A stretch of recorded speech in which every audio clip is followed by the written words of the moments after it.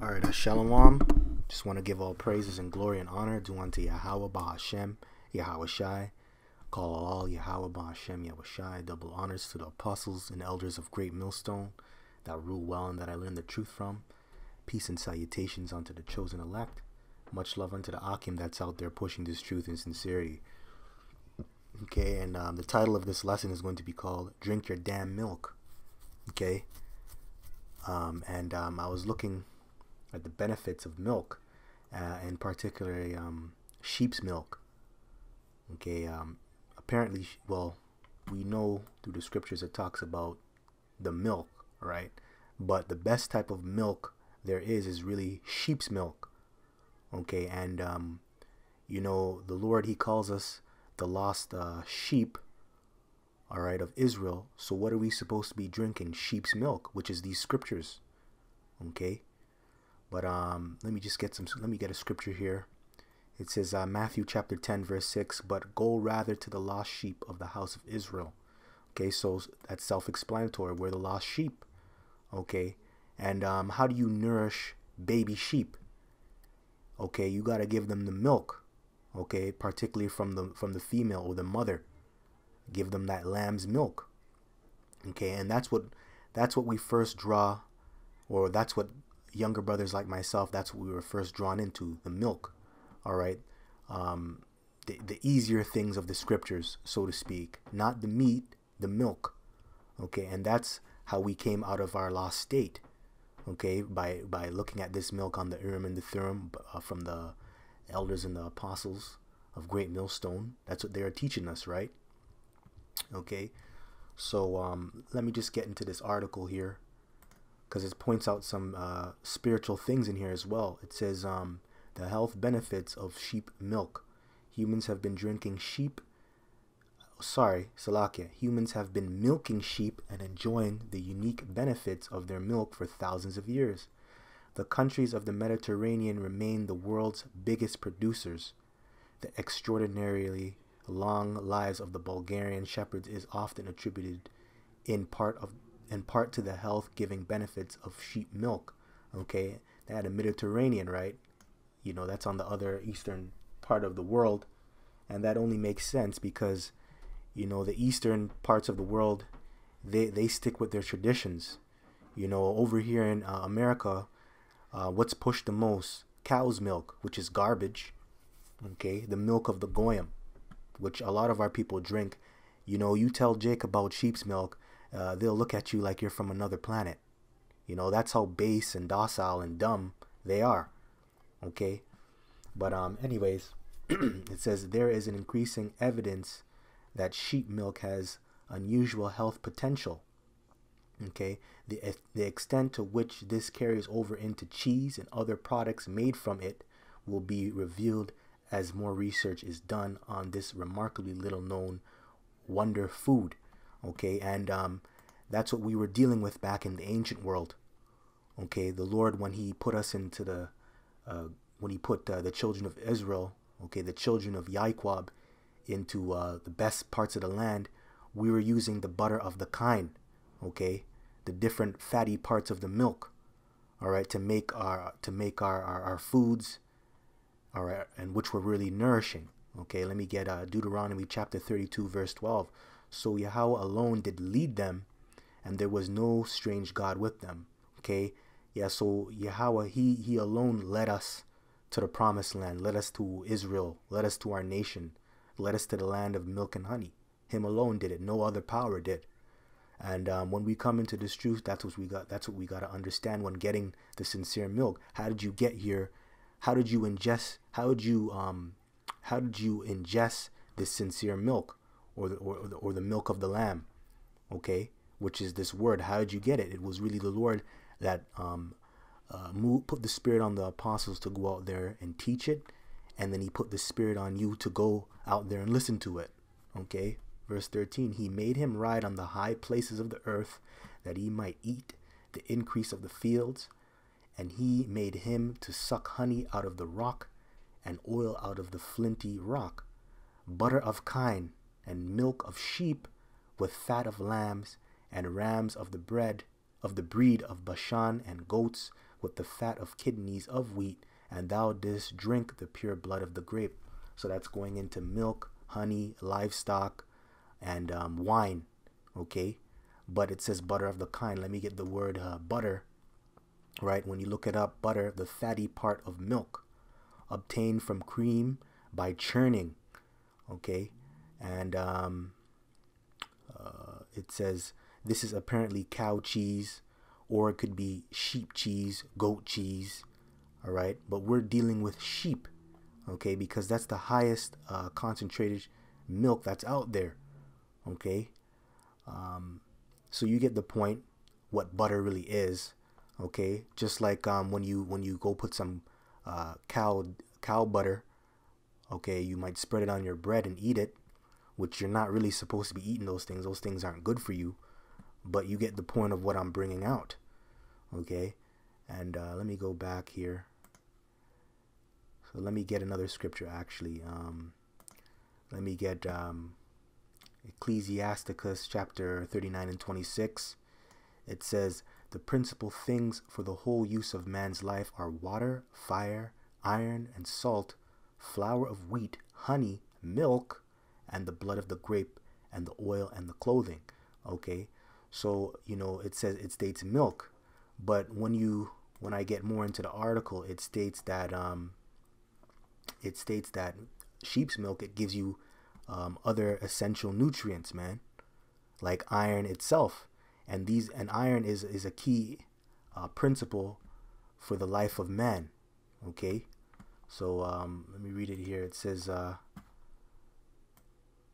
says uh, um, gram for gram, the superiority of sheep milk lies in the comparison with cow and goat milk, especially in the differences between levels of critical nutritional substances like protein, calcium, iron, magnesium, zinc, thiamine, riboflavin, vitamins B6, B12, and D. The medium chain amino acids, linoleic acids, and all 10 of the essential amino acids. Okay, and you know, our, our people are vitamin deficient. Okay, um, they lack all these minerals, man, because they're not drinking the milk first, and that's why a lot of brothers or not brothers, I mean a lot of former brothers, okay, Salakia, former brothers who fell out, they they they were lacking the sincere milk. Okay, they didn't want to ingest it. They choked on it. Okay, and then that's what and then they didn't get the nutrients and that's why they fell out. And that's why um that's why the scriptures in Ezekiel chapter 37 talks about the dry bones, man. Okay? because you, you a lot of the reason why our people are in this dead state is because they're not they're not vitamin they're vitamin deficient okay they're not getting the right nutrients which is really the scriptures okay and before you can uh, eat meat you have to drink the milk.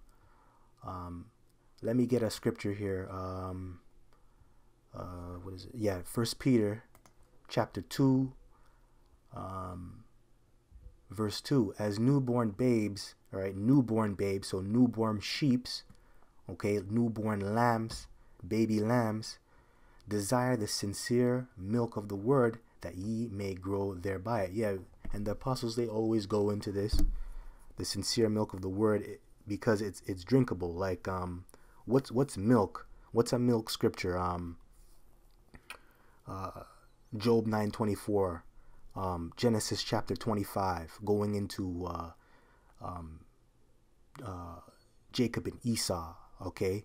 Um, not eating pork, uh, the dietary laws. Those are all sincere milk, the sincere milk of the word. And these things, um, they give you a foundation, all right? They give you, these are the core fundamentals of what allows you to grow into an adult in this truth, all right? Okay? And um, like myself, I'm still I'm still a babe in this truth, man, and I'm still drinking the milk.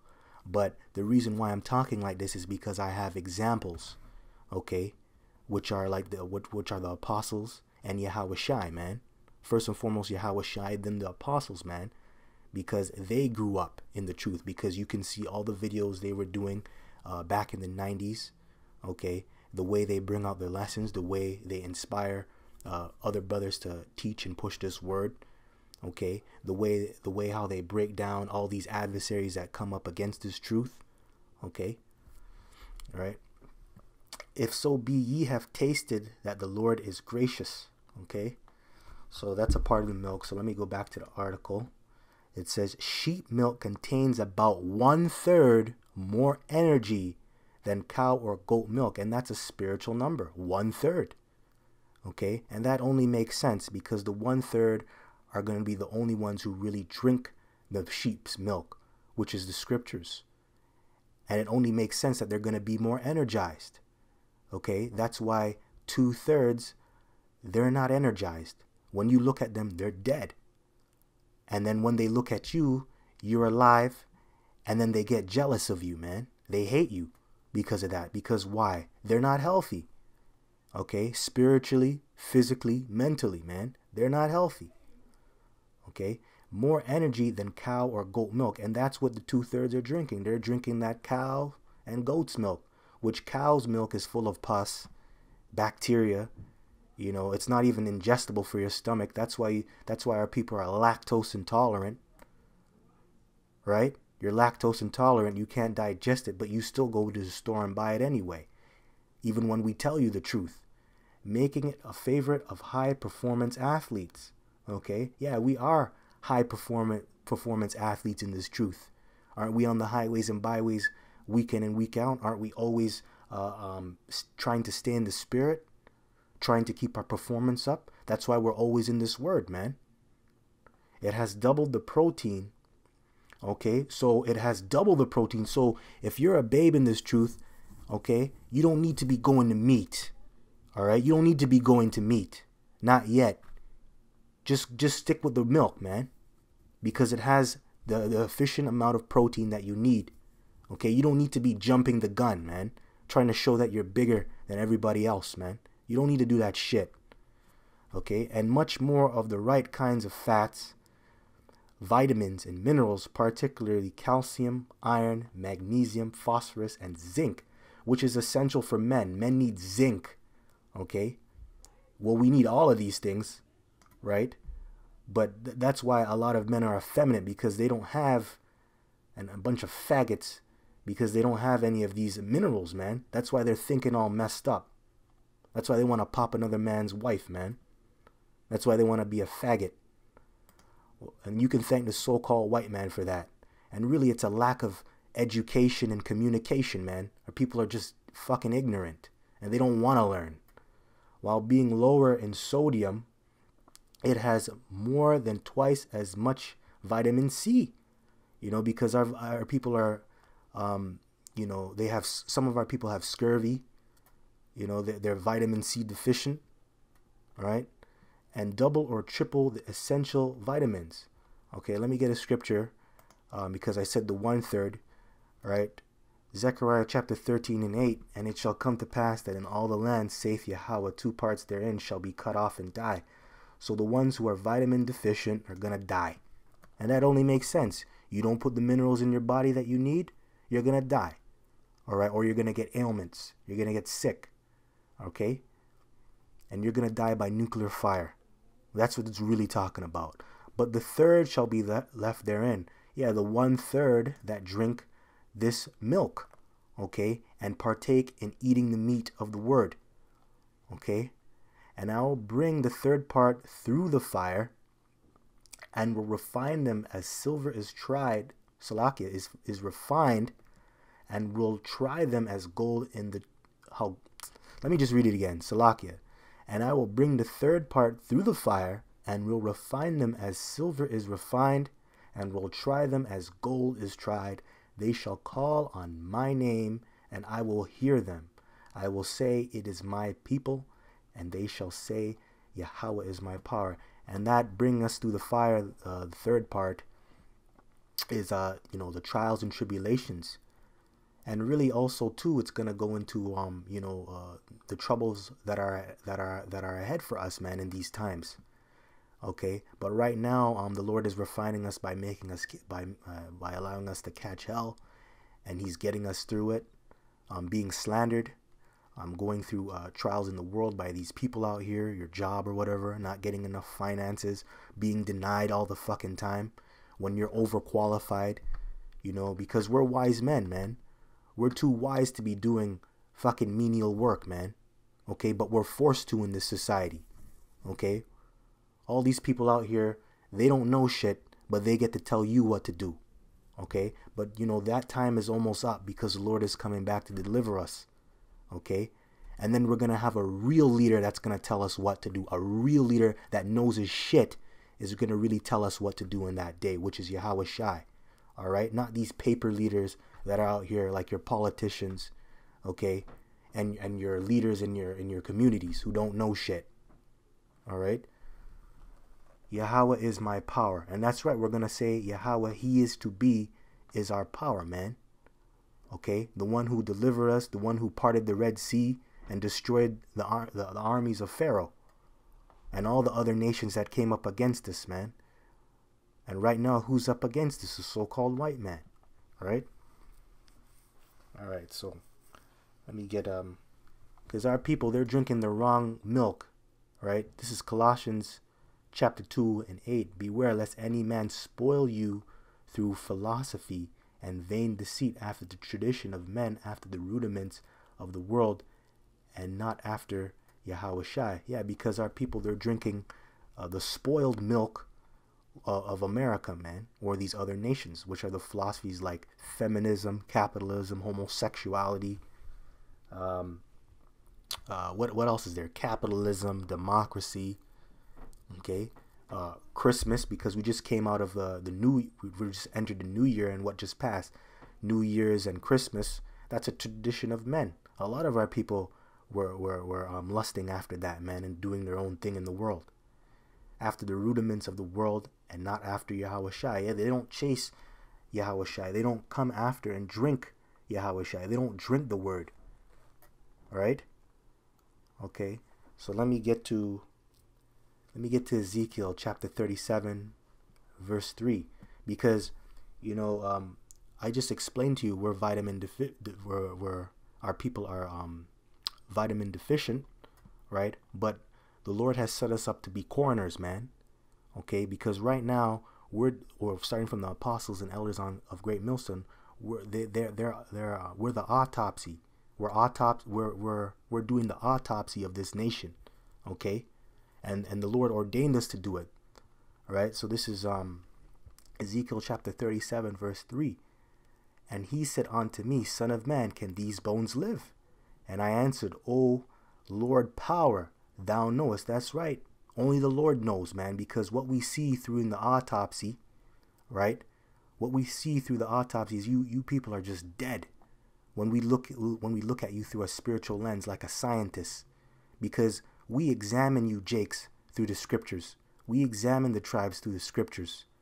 Okay, and, and we and the way we look at you is like there's no hope sometimes.